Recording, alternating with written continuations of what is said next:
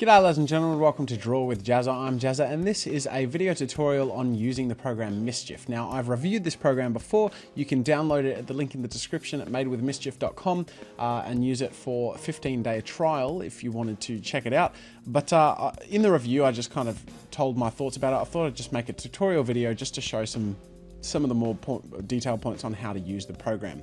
So this is Mischief. It's an infinite canvas program, meaning if I use the zoom tool, I can zoom in as far as my heart desires and it won't in any way affect the image because it's a vector image as opposed to a raster or bitmap image that Photoshop might create. So up here in the menus, it's all pretty uh, stock standard stuff with your preferences. You can change your crosshair and th things like that the smoothing, all that, uh, and the layers. And so otherwise, uh, there's not a huge amount in the menu. It's a pretty simplistic program that I find myself uh, brainstorming in. So rather than doing final refined pieces in it, I actually really enjoy doing character concept art and, and doing a lot of exploration because it's such a, a big sort of program where you can just go anywhere on the canvas. It's really useful.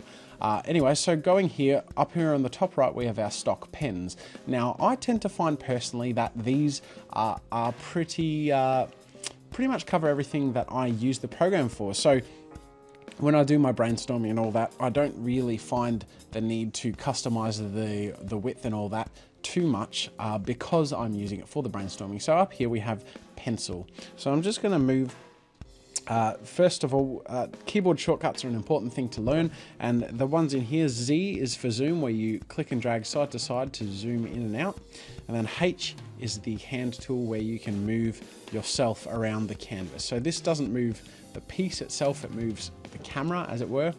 So if I want to uh, do a bit of drawing inside this E here, I can just zoom in here and uh, position myself where I want to draw. And then I can select my stock pen and so this is the pencil. So I'm just going to select a black pencil and if I wanted to sketch a head, I might just use it. It's quite a light sort of thing. It's all pressure sensitive and vector, which is really cool. And then just draw in the basic structure of the head. So it's pretty straightforward uh, in terms of the pen tools. Like I said, I tend to only use the ones that they have uh, provided, but if you want to change it around and get custom sizes and stuff, you can. So over here on the right, we have a few options. We have the current pen selected, and we can change the width, and we can change the opacity. So if I want to make it really thick, I can do that as well. So these are the stock pens. These are more of the rough sort of, they look a bit more like grey lead on paper, right? And uh, then the next one down, we have these sort of airbrush style things. And uh, if we wanted to do some airbrushing under a layer, we have our layers over here on the bottom right. So we're here, this little plus adds a layer, and then I'm doing that. Okay, so then my favorite part is this bit here. This is the vector uh, paintbrush. So it's similar to the flash one, um, and you can also affect, uh, select how much kind of alterations you want to the smoothing and things like that in the preferences up in the menu. And so you get the basic idea. It's very similar to Flash. It's like a cross between Flash and Photoshop. Uh, like I said, I use it for brainstorming, and the reason I, I like it for that is because when I used to brainstorm when I say brainstorm, like sketching up ideas. I used to do it in Photoshop, but it used to annoy me because I didn't know what canvas size to pick, or you know, and you feel quite limited. Whereas this is really cool because you you feel like you're ready to explore in a program like this. So then we have highlighters, which is more solid color, which add upon each other as you add it. And then finally calligraphy. And I actually really enjoy this calligraphy tool.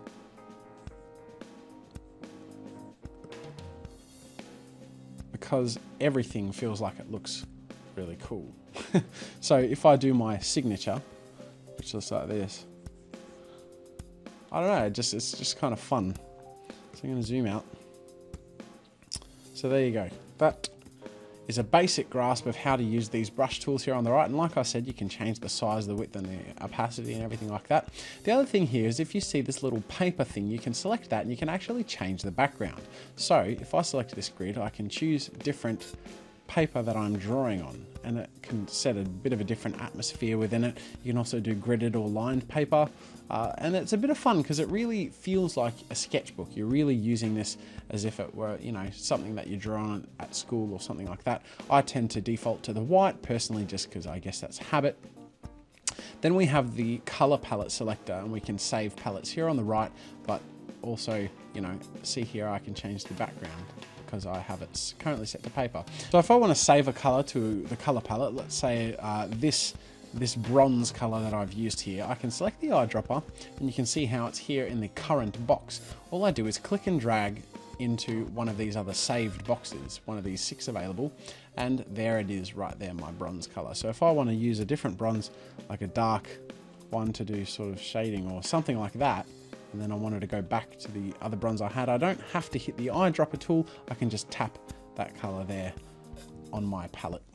then over here we have some tools, some basic selection, we have a uh, just the normal brush tool which defaults up to these. We have a line tool which is as you would imagine it but it actually uses the brush setting of whatever line you're on. So if I wanted to use the, the marker the highlighter things like that so the pencil then we have the square, which, as you can guess, draws a square.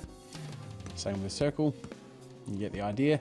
And then we have, of course, whatever you call that thing, where you, wherever you tap, the line goes. So, anyways, so that's a bit of fun. uh, same thing with this, except it doesn't have to finish off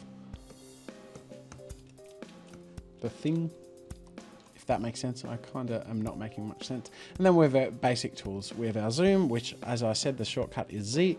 And then we have H, which moves the canvas around. And then this is the rotate tool, uh, and which if I select it and click and drag, we can actually rotate the canvas. So that's pretty nifty as well. Finally, we have this last thing which defaults to our default position on the canvas, which let's be honest, can be difficult to find when you zoom in all the way into a place like that. So we just hit that and all of a sudden we're home.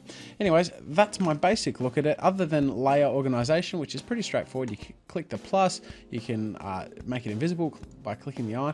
If you've used Photoshop or Flash or any of uh, the art programs like GIMP or Painter or things like that, they're very common sort of settings and tools. And so it's pretty straightforward when you get down to the nitty gritty of it. There are less options in terms of uh, image um, kind of editing and stuff because it's not very based around bitmap and things like that. But as a uh, sketching brainstorming tool, as a infinite canvas tool, it's got a lot of creative potential and uh, that's a basic guide as to how to use it. So I hope you enjoyed my little tutorial there and until next time ladies and gentlemen, I will see you later. Thanks for watching. Make sure to subscribe if you enjoy my videos. You can download the reference files from this tutorial by clicking the link in the description. And remember to share any art, animation or game you make on newgrounds.com. Until next time, see you later.